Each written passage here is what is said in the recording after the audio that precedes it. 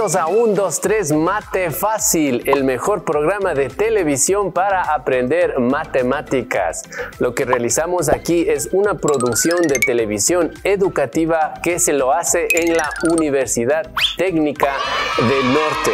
Y esperamos que lo que vamos a compartir con ustedes en el programa del día de hoy les guste mucho y les motive a seguir aprendiendo matemáticas. La clase del día de hoy vamos a tratar un poquito el tema del teorema de Tales de Mileto. ¿En qué consiste esto? Pues es algo muy interesante. Eso es lo que vamos a ver en la clase del día de hoy. La clase del día de hoy, como les mencioné hace un momento, vamos a ver el teorema de Tales de Mileto. Y para comenzar la clase, pues vamos a dar una pequeña biografía de quién fue Tales eh, de Mileto. Fue un filósofo matemático griego que vivió en la época del 624 al 546 antes de Cristo y él hizo contribuciones muy importantes en el campo de la filosofía, de la matemática, la física, la astronomía y lo más importante es que propuso dos teoremas que ayudaron a desarrollar mucho el área de las matemáticas. Lo que vamos a ver en la clase del día de hoy es el primer teorema de Tales de Mileto, que es muy interesante. Ya lo vamos a conocer a continuación. Y para entender este teorema vamos a iniciar con este triángulo. Y vamos a trazar esta línea paralela a la base del triángulo que tenemos ahí. Observen que las líneas están paralelas entre sí. Esto es muy importante. Y con esto podemos observar que en la parte de arriba se ha formado este otro triángulo, que lo vamos a poner por acá. ¿Qué tal si ahora trazamos esta línea de acá que está paralela a uno de los lados del triángulo? Vuelvo a insistir, es muy importante que las líneas se encuentren paralelas entre sí. Y de igual manera observamos que se ha formado este pequeño triángulo, que lo vamos a colocar por acá.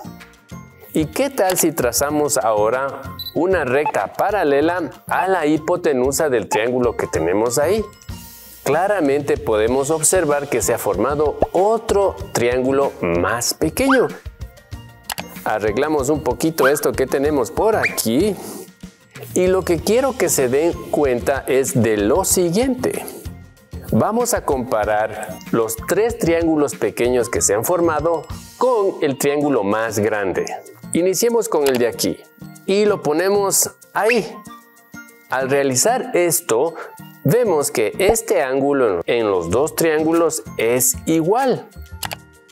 Ahora si le bajamos un poquito para acá, la medida de los ángulos coincide. Y si le movemos acá a este extremo, los dos triángulos tienen la misma medida de ese ángulo. ¿Qué tal si ahora lo comparamos con este triángulo más pequeño? Lo ponemos por ahí y verificamos que la medida de este ángulo para los dos triángulos es la misma. Lo mismo en esta parte de acá, el ángulo que se forma ahí para los dos triángulos es igual. Y lo mismo tenemos para esta punta de aquí. El ángulo es igual para los dos triángulos. Finalmente vamos a comparar el triángulo más pequeñito a ver si es que coinciden los ángulos. Y podemos ver que sí son iguales. De igual manera, en este caso de aquí, tienen el mismo ángulo de apertura los dos triángulos y en la parte de acá es el mismo ángulo para los dos triángulos que estamos comparando ahí. Con ese pequeño análisis a manera de introducción, ya nos damos cuenta que el teorema de Tales de Mileto tiene que ver con los triángulos, ¿verdad? Y para aclararnos esa duda le vamos a pedir al Guillito que nos indique en qué consiste este interesante teorema. A ver Guillito, ¿por dónde andas? ¿Si estás por aquí? Ah, sí, aquí estoy. ¿Cómo están? Oh, bien Guillito. Necesitamos que nos ayudes aclarando qué es lo que dice el teorema de Tales de Mileto. ¿Lo puedes hacer? Seguro, ya sabes. Me pueden preguntar lo que sea. Ok, Guillito. Entonces, ¿qué dice este teorema? Pongan atención. Si en un triángulo se traza una línea paralela a cualquiera de sus lados, se obtiene un triángulo que es semejante al triángulo dado. Este teorema es muy fácil. Ok, gracias Guillito por la explicación. Entonces, ¿en qué consiste el teorema de Tales de Mileto? Es muy fácil. Como hemos realizado la comparación en esos triángulos, podemos observar que al trazar esas paralelas que tenemos ahí, se forman otros triángulos un poco más pequeñitos al triángulo más grande, como vemos en ese caso de ahí, o también podemos ver en este caso de ahí es el triángulo un poquito más grande, pero observen que al trazar si las paralelas a los lados del triángulo se está formando otro triángulo que es más pequeño. Y tenemos este otro ejemplo que está por acá. No debemos olvidar que el triángulo más pequeño que se forma al interior es un triángulo semejante al triángulo más grande. ¿Ok? Entonces, en eso consiste el teorema de Tales de Mileto. Muy fácil, ¿verdad? Pero existe otra versión del mismo teorema que nos vamos a dar cuenta que en sí sí es lo mismo. Pongan atención. Existe otra forma de plantear el mismo teorema de Tales de Mileto y lo vamos a hacer utilizando estas líneas que las tenemos ahí. Si proyectamos estas líneas, podemos ver que en algún momento se van a intersecar. Cuando esto suceda a este tipo de rectas, se les conoce con el nombre de rectas secantes, que es lo contrario a las rectas paralelas. Las rectas secantes se van a cruzar en un punto y las rectas paralelas nunca lo van a hacer. Si a estas rectas secantes les cruzamos con otras rectas que tenemos ahí, miren, pero que son paralelas entre sí. ¿Qué es lo que va a suceder? Según el teorema de Tales de Mileto, nos dice lo siguiente. Vamos a asignar a los vértices donde se cruzan las rectas, vamos a poner estas letras A, B, C por aquí y D, E, F por acá. Y miren, el teorema dice lo siguiente, que este segmento AB que está en la primera línea secante, al dividirlo por el segmento correspondiente que está en la otra línea secante que sería el DE, esa división entre los dos segmentos es igual a la división de segmentos más grandes o más pequeños que se encuentran en las mismas rectas secantes. Por ejemplo, este de aquí, el segmento AC, lo pongo por ahí y lo divido para el segmento DF. Y esto también sería igual a la división entre estos dos segmentos que tenemos por aquí, el segmento BC y el segmento DF. Así nos podemos dar cuenta que el teorema de Tales de Mileto se lo puede interpretar de otra manera.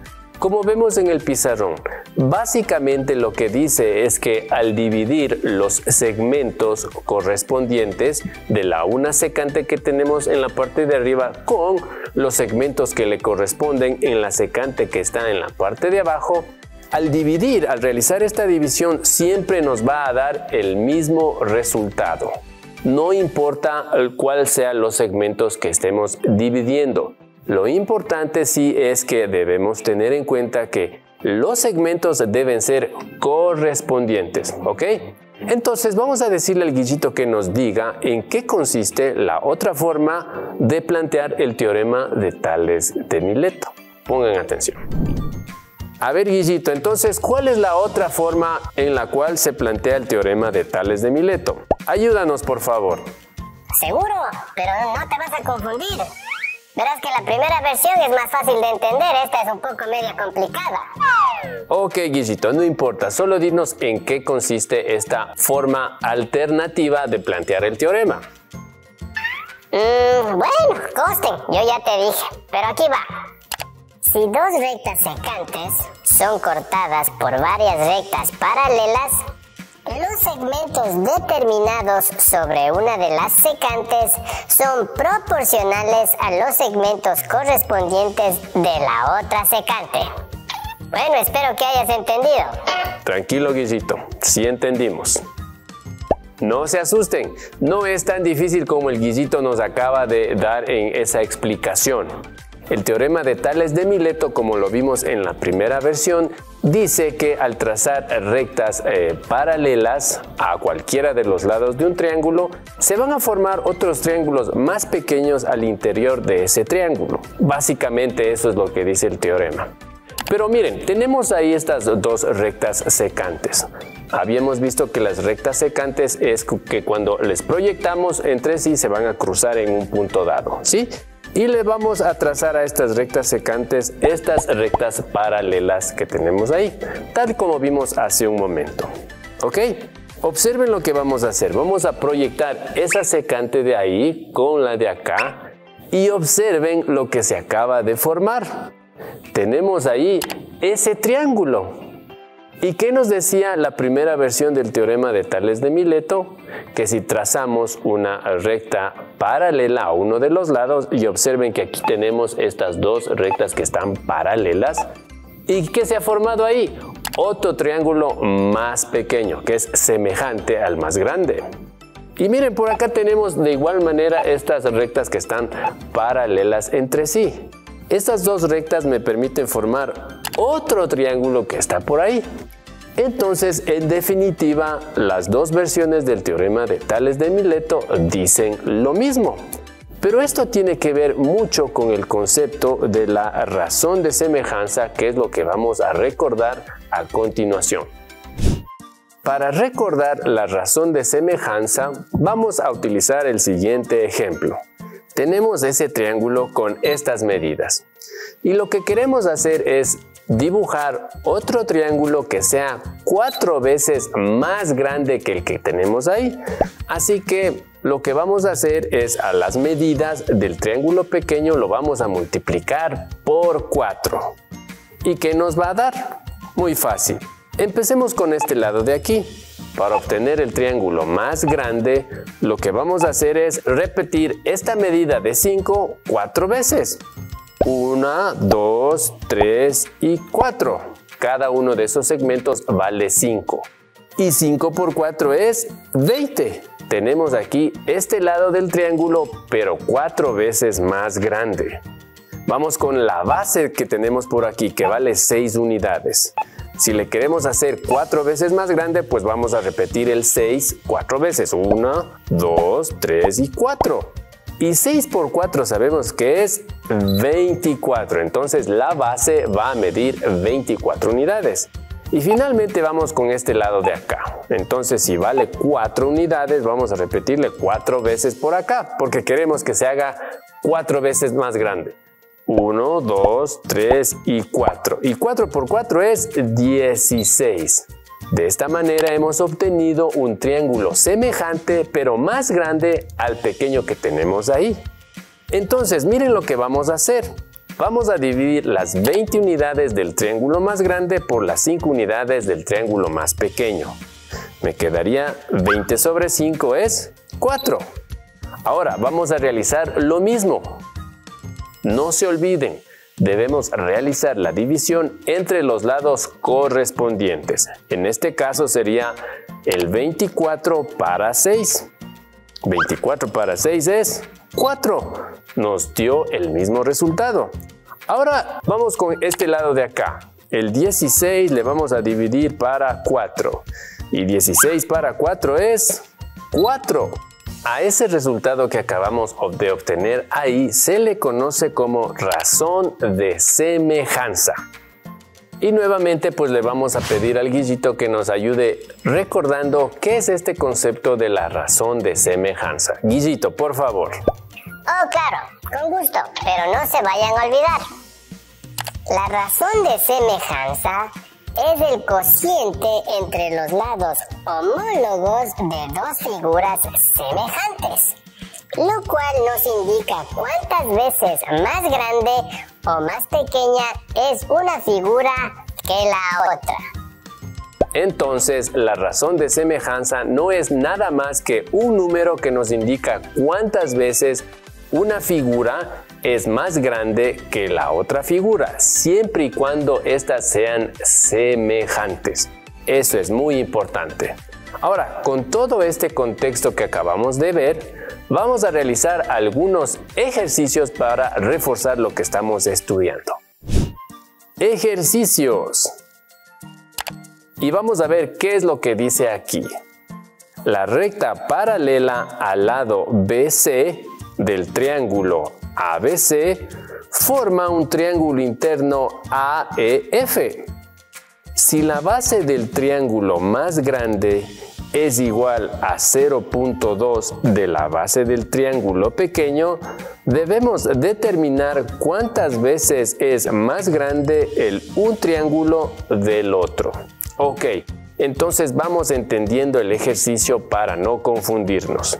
Primero, según el problema tenemos este triángulo ABC. Hasta ahí todo claro, ¿verdad? Y según este problema existe esta recta paralela que hace que se forme un triángulo más pequeñito en la punta al cual se lo denomina triángulo AEF. Hasta ahí estamos claros. Ahora sí, vamos a proceder a resolver el problema. Según el ejercicio nos da el dato que la base del triángulo más grande, ¿y cuál es la base? Pues es este segmento que tenemos aquí, BC. Este segmento BC dice que vale, según el ejercicio, 0.2. Pero 0.2 de qué? En lo que tenemos planteado ahí dice que es 0.2 de la base del triángulo pequeño, es decir, este segmento de acá, la base del triángulo pequeñito, es decir, EF. Al 0.2 lo multiplicamos por EF. Ese dato es muy importante para resolver el ejercicio. Ahora, como habíamos visto, la razón de semejanza es cuando dividimos los lados correspondientes de las figuras que son semejantes. Entonces, eso es lo que vamos a realizar. Vamos a dividir el segmento AE del triángulo pequeñito que tenemos ahí, dividido para el mismo lado, pero del triángulo más grande, es decir, el segmento AB. Así. Según el teorema de Tales de Mileto, esto sería igual a la división de los otros lados del triángulo pequeño y el triángulo grande. Vamos a dividir la base del triángulo pequeñito, es decir, EF, para la base del triángulo más grande que es el lado correspondiente, es decir, BC. Y ahora aquí podemos darnos cuenta de algo muy interesante. Observen que el segmento BC, según lo que nos planteaba el ejercicio, vale 0.2 por EF. Entonces simplemente vamos a reemplazar ese valor ahí. En lugar del segmento BC, vamos a colocar lo que este vale, 0.2 por EF. Y así podemos simplificar estos dos segmentos, se eliminan y nos quedó 1 sobre 0.2. Para transformar esta fracción a número entero, vamos a hacer lo siguiente. Le vamos a multiplicar por 1. Y otra forma de escribir 1 es 10 sobre 10, porque 10 sobre 10 me da 1. Multiplico el numerador y el denominador, aquí me quedaría 10 y 0.2 por 10 me quedaría 2. 10 dividido para 2 es 5 hemos hallado que la razón de semejanza es 5. Por lo tanto, un triángulo es 5 veces más grande que el otro. Interesante, ¿verdad? ¿Qué les parece si realizamos más ejercicios que nos ayuden a profundizar un poquito más sobre el primer teorema de Tales de Mileto? Sigamos poniendo atención. En este problema nos dice que en un triángulo ABC cuyos lados miden 6, 8 y 10 centímetros, calcular los lados de un triángulo DEF semejante al triángulo ABC de perímetro igual a 36 centímetros. Y vamos a ir explicando en qué consiste ese ejercicio. Primero tenemos este triángulo ABC. Y según el problema, estos serían los valores de los lados del triángulo, 6, 8 y 10 centímetros. Ahora, dice que hay un triángulo semejante, es decir, el triángulo DEF, cuyos lados no sabemos. Y eso es lo que vamos a calcular. Y para eso nos dan unos datos que son muy importantes. Vamos a calcular primeramente el perímetro del primer triángulo, de ese que tenemos ahí, el triángulo ABC. Y el perímetro sabemos que es la suma de los lados, es decir, 6 centímetros más 8 centímetros más 10. Esto sería el perímetro de ese primer triángulo. Y esto es igual a 24 centímetros. En cambio, para el segundo triángulo, nos da la información el problema que el perímetro de este es igual a 36 centímetros. Entonces lo colocamos ahí. Para encontrar la razón de semejanza entre estos dos triángulos vamos a dividir el perímetro del triángulo mayor, es decir, de este de aquí, el triángulo DEF, sobre el perímetro del triángulo más pequeño, el triángulo ABC y sabemos que el triángulo más grande mide 36 centímetros de perímetro y el más pequeño medía, como calculamos, 24 centímetros. Al realizar esta división nos da que la razón de semejanza es de 1.5. Con ese dato ya podemos calcular a cuánto equivaldría las dimensiones del triángulo más grande. Entonces, el lado A, este que tenemos por aquí, sería igual al lado correspondiente del triángulo más pequeño, es decir, 6 centímetros que lo colocamos ahí, pero es 1.5 veces más grande. Entonces a los 6 centímetros le vamos a multiplicar por 1.5 que es la razón de semejanza. Y 6 por 1.5 me da 9 centímetros. Vamos ahora a calcular a cuánto equivale este lado del triángulo. ¿Esto a qué sería igual? Al lado correspondiente que en este caso vale 8 centímetros. Pero como el lado que estamos calculando es más grande, lo vamos a multiplicar por 1.5. Y 8 por 1.5 es 12 centímetros. Finalmente vamos a calcular este lado del triángulo que tenemos ahí.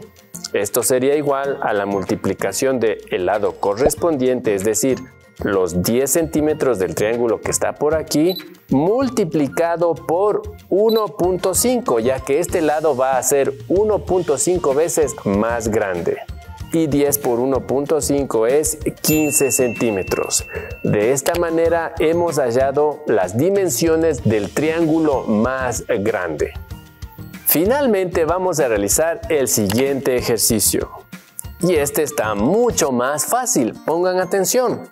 Debemos calcular los ángulos del triángulo interno en la figura que se forma por los tres triángulos semejantes. Y esta sería la figura que nos va a ayudar a resolver el problema. Entonces, los ángulos que necesitamos calcular son el ángulo alfa, beta y el ángulo teta. A más de eso tenemos la información que los ángulos de los dos extremos miden 45 grados cada uno. Y como estamos hablando de triángulos semejantes, este triángulo más grande es semejante a este triángulo más pequeño que tenemos por aquí. Entonces podemos asumir que el ángulo de ese vértice valdría lo mismo que el triángulo más grande, es decir, 45 grados.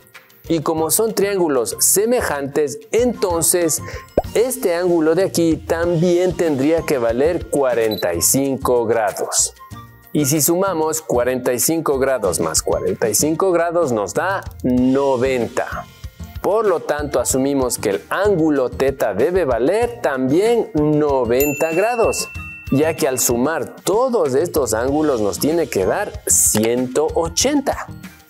Ahora vamos a calcular los otros ángulos. Este ángulo de aquí tendría que valer 90 grados, ya que los otros dos ángulos valen 45 cada uno. Ahora, este triángulo que tenemos por aquí, al ser semejante, podemos asumir que aquí tenemos 45 grados. Y así entonces podemos calcular que el ángulo alfa vale 45 grados. Y si este ángulo tiene este valor, obviamente el ángulo opuesto va a valer lo mismo, 45 grados. De esta manera hemos resuelto este ejercicio. Ok, y antes de despedirnos, vamos a ver un resumen de la clase del día de hoy. En esta clase analizamos el primer teorema de Tales de Mileto, el cual nos dice que si en un triángulo se traza una línea paralela a cualquiera de sus lados, se obtiene un triángulo que es semejante al triángulo dado. Por ejemplo, si a este triángulo le trazamos esa paralela a ese lado, se formó este triángulo. Y podemos hacerlo también en esta dirección o en esa dirección. Así que el teorema de Tales de Mileto no es tan complicado. Si la clase de hoy les pareció interesante, pueden revisar más de nuestro contenido a través de las redes sociales en Facebook y en YouTube como UTV en línea. Y espero que les haya gustado mucho la clase del día de hoy. Nos vemos la siguiente oportunidad con más de 1, 2, 3 mate fácil. Hasta pronto, que la pasen súper bien. Bye bye.